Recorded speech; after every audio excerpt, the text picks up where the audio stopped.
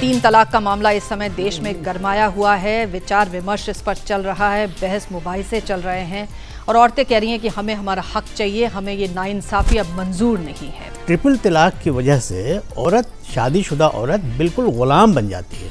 चालीस लोग Muslim person law vote चला रहे हैं। आप बताइए बीस करोड़ मुसलमानों को क्या चालीस लोग हैंडल कर लेंगे हिंदुस्तान में? जब इस दुनिया के अंदर जो इस्लामिक कंट्रीज़ है इस्लामिक लॉ पे चलती है वो तक ट्रिपल तलाक नहीं मानती है। तो यहाँ पे आप लागू करने की क्यों बात करते हो? जो ट्रिपल तलाक का जो एक नियम है या कानूनी तौर पे जो मुस्लिम लॉ में चल रहा है वो असंवैधानिक है। ये देश की साधारण मुस्लिम महिलाओं की मुहिम है। मुस्लिम महिलाएँ आवाज़ निकाल रही हैं वो न्याय मांग रही हैं। आप एक बार जेल भेज दीजिए एक आदमी को तीन तलाक देने वाले को फिर कोई तीन तलाक नहीं देगा तीन महीने इंतज़ार करेगा जो कुरान का तरीका है और उस तीन महीने में उसे अपने फैसले को बदलने का हक है।